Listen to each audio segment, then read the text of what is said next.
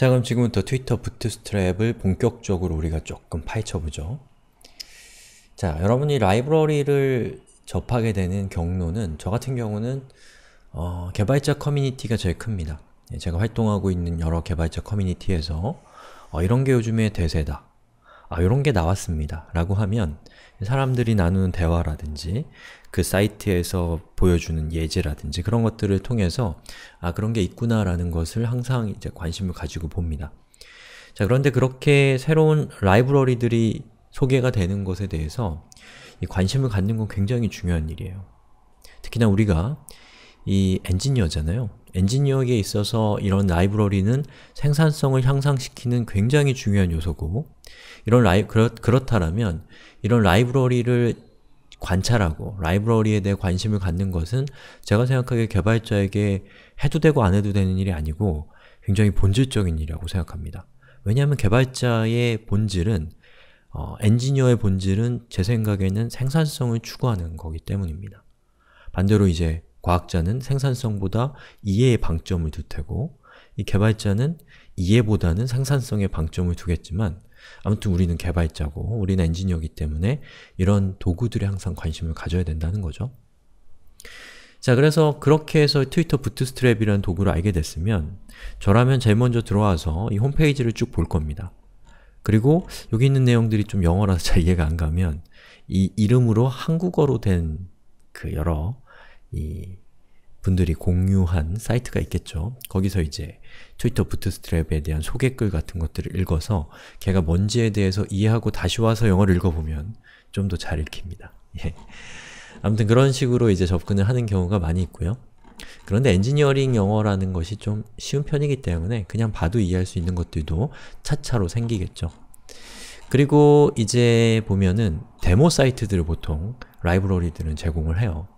그래서 여기에 explore the, 뭐 expo, expo가 뭘까요? expo란 뜻이네요. 자, 이거를 클릭해서 들어가 보면 트위터 부트스트랩을 통해서 만들어진 사이트들에 대한 예제들이 있습니다. 그럼 이걸 보고 아 이런 사이트를 트위터 부트스트랩으로 만들 수 있구나 라는 생각을 하면서 부트스트랩이 무엇인가에 대한 그 막연한 느낌을 좀 더 구체적으로 좁혀보는 거죠. 아무튼 그런 식으로 이제 그 라이브러리에 대한 이해를 높여가는데 사실 어떤 라이브러리가 있을 때 걔가 어디다 쓰는 건지를 이해하는 것도 그렇게 쉬운 일은 아니에요. 예. 왜냐면 개발자들이 사용하는 이 개발 도구들 이런 라이브러리는 일반인들이 사용하는 그런 앱이나 웹사이트처럼 친절하지가 않습니다. 그렇기 때문에 충분한 노력을 들여야 돼요. 그 라이브러리를 이해하기 위해서는 자 그러면 이 라이브러리를 어떻게 사용하는가에 대한 부분은 이 보통 여기 getting started이라고 되어 있는 부분 보이시죠? 저 getting started을 클릭해서 들어가 보시면 저기에 어, 보통 그 라이브러리에 대한 이 자세한 설명 아니 그 시작점은 여기 getting started이라고 되어 있는 이 부분에서 제공을 합니다. 그래서 요걸 보시고 여기에서 제일 먼저 관심을 가져볼 만한 것은 코드입니다. 코드. 그래서 가장 기본적인 적용을 하기 위해서는 어떤 코드를 쓰면 되는가에 대한 예제들이 어딘가에 보통은 있어요. 그래서 여기 basic template이란 걸 보니까 트위터 Bootstrap을 적용하기 위한 핵심적인 이 골격만 남겨놓은 코드가 여기에 있네요. 그래서 여기 있는 요것을 우리가 진행해온 이 프로젝트에다가 적용을 하면 되겠죠. 자, 그 전에 트위터 Bootstrap을 다운로드 받아서 우리의 프로젝트에다가 추가를 시킵시다. 자, 여기 3.34 버전 다운로드를 클릭하면 예, 다운로드가 시작이 될 거고요. 여기에 있는 이 파일을, 이 압축된 파일을 열어서 자, 왼쪽에 있는 게 압축된 파일의 안으로 들어간 상태고요. 이 압축된 파일 안에는 저렇게 디렉토리가 있는데요.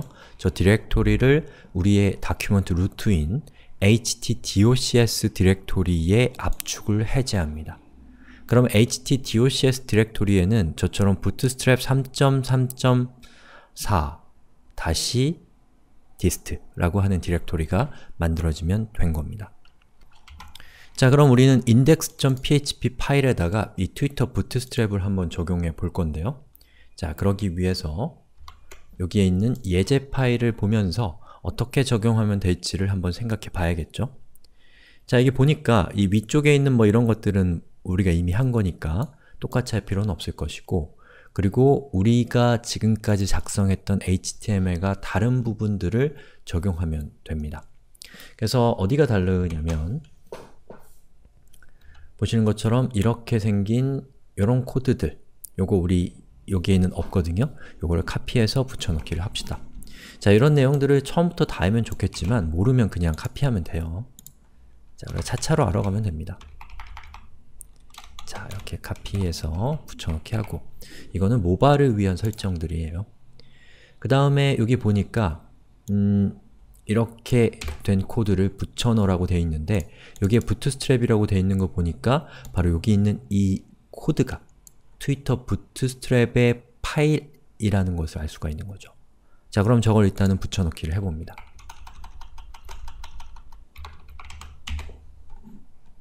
그리고 밑으로 쭉 내려가 보니까 어, 이렇게 생긴 코드들을 body 태그가 끝나는 지점 전에다가 어, 위치시키라고 되어 있네요. 그럼 밑으로 내려가서 body 태그가 끝나는 지점에 이렇게 카피를 했습니다. 그리고 한번 열어볼게요. 자, 그런데 그냥 열어봐서는 알 수가 없고 오른쪽 클릭해서 요소 검사를 눌러보시면 이렇게 생긴 화면이 뜨죠. 거기에서 네트워크를 누른 다음에 한번 reload를 해보세요. 그럼 빨간색으로 표시되는 부분이 보이면 아마 보일 겁니다.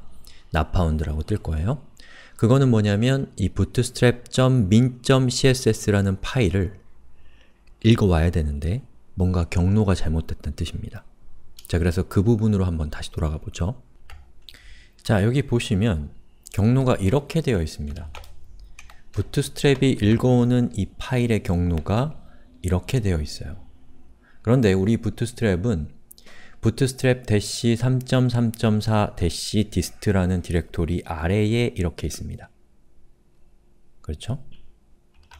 그렇기 때문에 만약에 우리가 지금까지 배운 대로 한다면 저 파일에 접속하기 위해서는 http localhost 그리고 bootstrap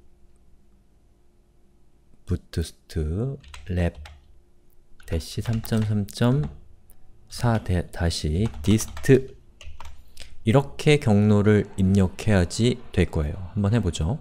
제가 오타를 냈을 수도 있는데 자, reload를 해보면 보시는 것처럼 이렇게 bootstrap.min.css를 잘 읽어왔죠. 그리고 디자인이 바뀌었습니다. 제가 Bootstrap을 소개할 때 Bootstrap은 자체적인 디자인이 되어 있기 때문에 여러분들이 Bootstrap을 사용하면 쉽게 어, 아주 빠지지 않는, 빠지지는 않는 디자인을 적용할 수 있다 라고 말씀을 드렸죠.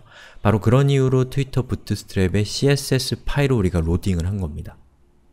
자, 그리고 자, 여기 있는 걸 이렇게 카피를 해서 밑으로 내려가 보시면 Bootstrap은 자바스크립트도 자기들이 제공을 해요.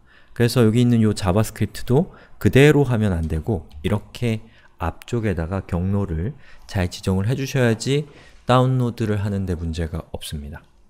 자, 그리고 다시 reload를 한 다음에 이렇게 그 다운로드 되는 리스트를 보면 보시는 것처럼 예, 빨간색이 아무것도 표시가 안 되죠. 그 얘기는 뭐냐면 예, 모든 파일을 잘 load하고 있다, 잘 읽어오고 있다 라는 뜻인 거예요. 자 그럼 이제 우리가 Bootstrap을 사용할 준비가 끝난 겁니다.